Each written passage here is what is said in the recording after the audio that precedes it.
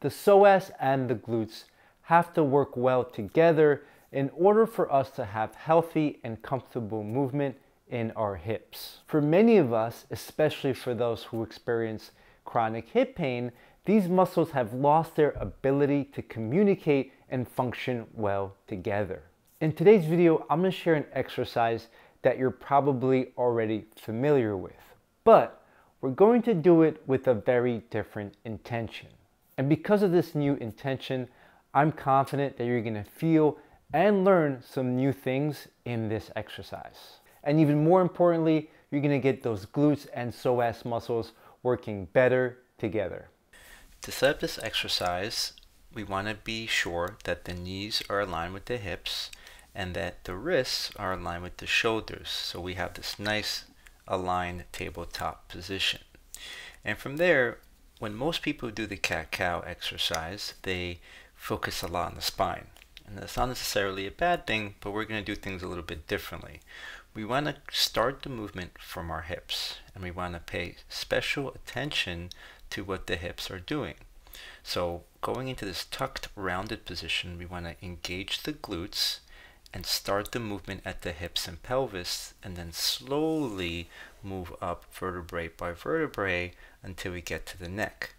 And then when we go into the other position, we want to use our hip flexors, which are the muscles at the crease of the hip, to arch, to, to bring the pelvis more forward, arch the low back, and then slowly extend the rest of the spine. So the spine's almost coming along for the ride as opposed to being the main driver of the movement. And two things we want to pay attention to here is first, which position is more difficult for you? Is it harder to engage the glutes and tuck the pelvis? Or is it harder to engage the hip flexors, roll the pelvis forward, and arch the spine? This is going to give you some insight on what kind of exercises will be helpful for you and where you should put your focus on. The second thing I want you to pay attention to is is it difficult to contract the hip flexors when you go into that anterior tilt?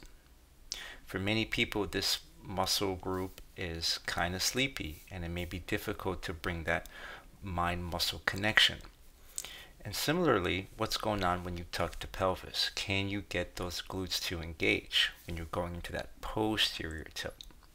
This tells us a lot about what's going on with your hips and it could give you a lot of insight and direction on where you should put your focus on during exercise.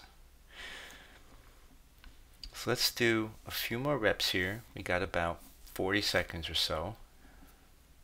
And we don't want to use the move the head or the spine before we move the hips, right? So really think about tucking and arching at the pelvis before the spine, neck, or head get involved. And for many people, it takes some time to get used to this type of variation or with this kind of special attention on what's going on at the hips. So take your time, be patient, don't be frustrated if it doesn't happen right away. Just kind of stick with it and trust that your body will eventually figure it out. If you found that exercise helpful, hit that like button, smack that subscribe button. It goes a long way for me to keep bringing you quality content. That's all I got for today. I'll see you in the next one. Happy hips.